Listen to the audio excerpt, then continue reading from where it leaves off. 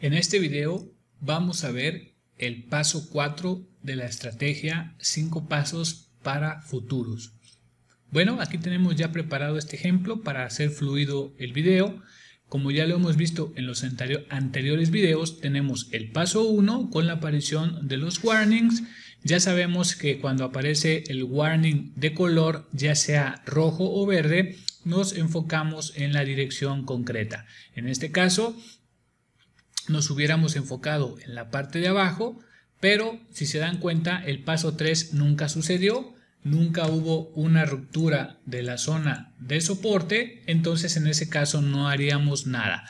Después aparece enseguida un warning amarillo, trazamos soporte y resistencia y después con la aparición del warning verde nos olvidamos de los soportes y nos enfocamos en las resistencias, es decir, en una dirección alcista o lo que es lo mismo, compras. Paso 2, recuerden, sería la, marcación de la resistencia derivada de los colores en los warnings.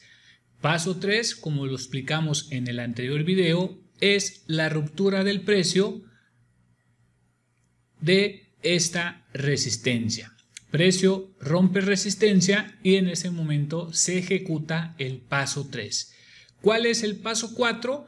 Sería la ruptura de la banda roja, ¿sí? Esta banda roja estaría rompiendo también el nivel de resistencia.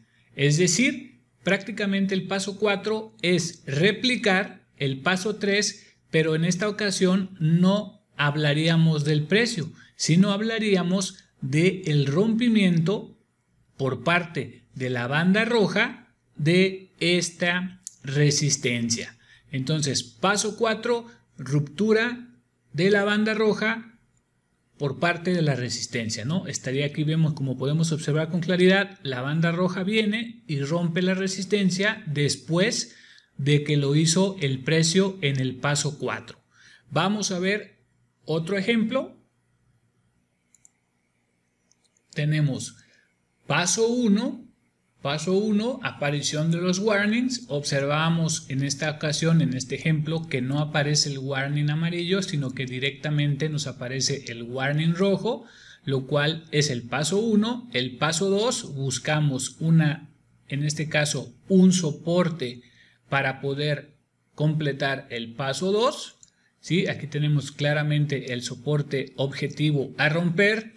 Paso 3, el precio Vean, el precio rompe aquí, vamos a ponerlo con una elipse, el precio rompe la zona de soporte y paso 4, como ya lo acabamos de explicar, el paso 4 es que la banda roja también rompa ese nivel de soporte posterior a que lo hizo el precio en el paso 3. ¿Sí? Vean, paso 4, paso 3, paso 1, paso 2, paso 3, paso 4.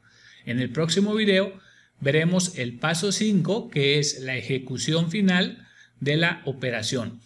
Vamos a ver otro ejemplo para clarificar el paso 4.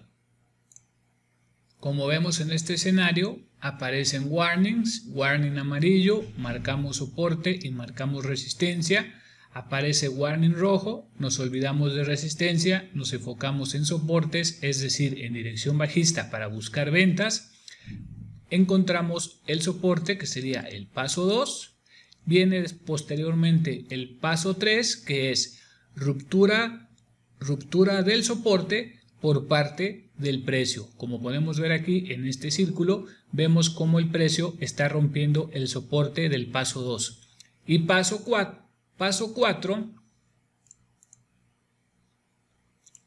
como podemos ver aquí, es la ruptura del soporte por parte de la banda roja. ¿sí? Aquí vemos ruptura del soporte por parte de la banda roja. Dando paso entonces al paso 5, que es la ejecución en este ejemplo de las ventas. Vamos a ver otro ejemplo para clarificar todo el escenario. Nuevamente tenemos otro escenario parecido a los anteriores. Aparece warning amarillo, marcamos soporte y resistencia. Cuando aparece el warning rojo, nos olvidamos de la resistencia y nos enfocamos en el soporte, es decir, en buscar ventas. Aparece triángulo rojo indicándonos y confirmándonos la dirección bajista.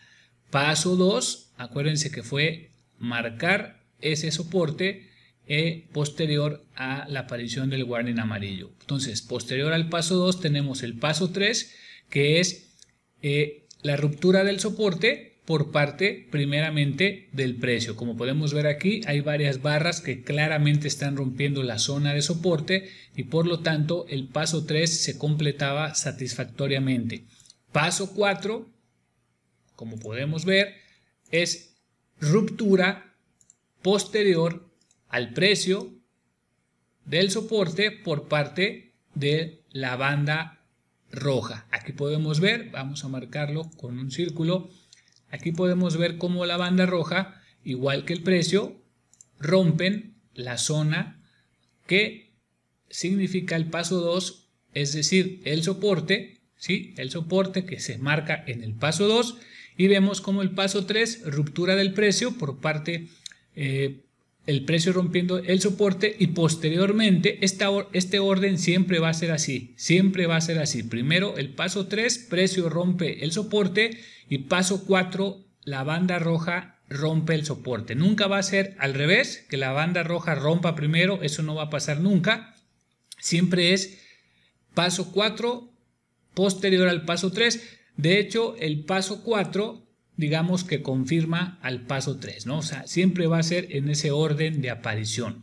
Entonces, como podemos ver, vamos a analizar un último ejercicio, un último ejemplo para clarificar totalmente el paso 4.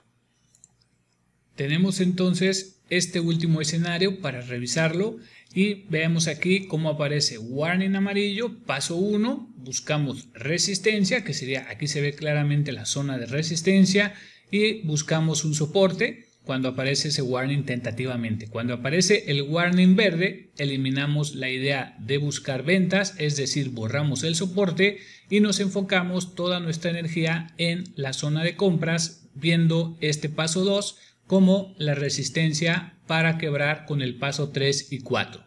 Posteriormente aparece el triángulo verde, indicándonos y confirmándonos la dirección. Paso, 4, paso 3, vemos cómo el precio, precio rompe esa resistencia del paso 2.